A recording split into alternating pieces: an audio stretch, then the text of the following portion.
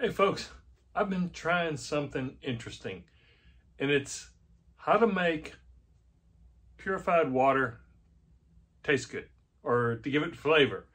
Uh, I have a, a really good filter here at home that filters out, it's not a reverse osmosis, but it filters out water really, really well.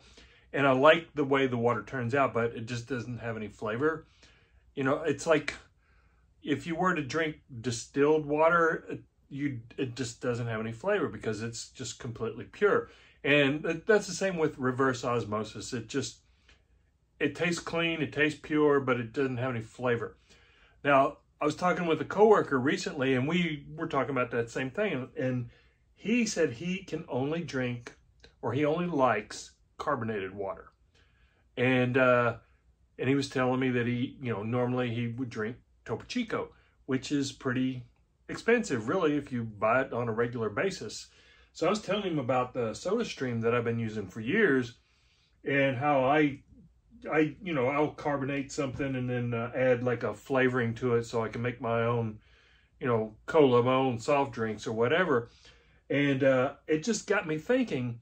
One of the things that makes, uh, like, say, Topo Chico tasty is uh, minerals. And when you're filtering, uh, especially at this level of filtering, you're removing all of the all of the minerals whatsoever, so you're not getting any any of uh, the flavor from that. So we were talking, and I, I thought, you know what?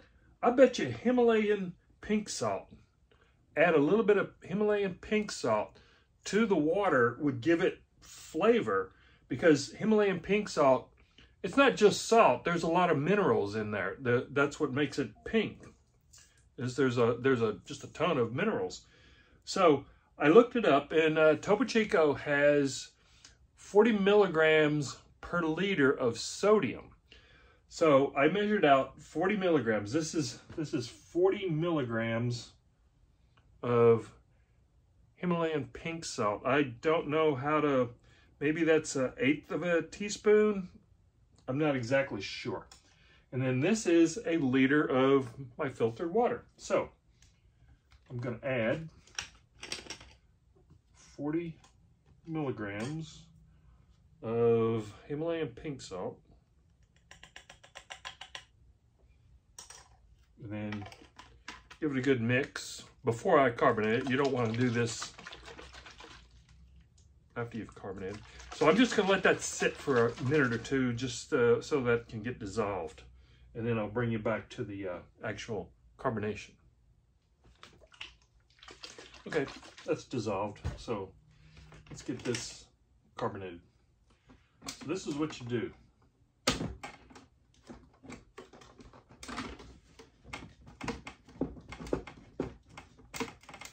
Get that up there nice and tight, like so. And then there's this button up here, and you have to press this three times at least three times, and then you'll you'll kind of get like what they say they call it a burp. So push all the way down. Two, three. So that was a really incredible burp. okay. Now let me just remove.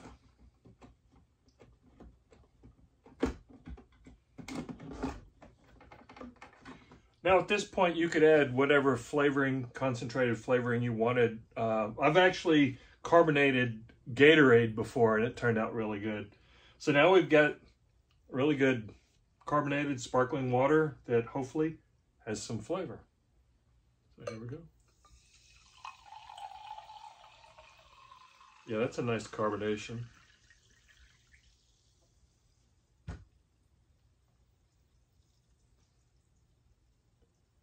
Cheers.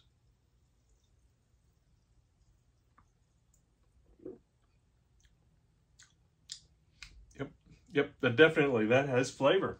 It, it tastes more than just, just, you know, water that has been filtered. It, it actually has some flavor.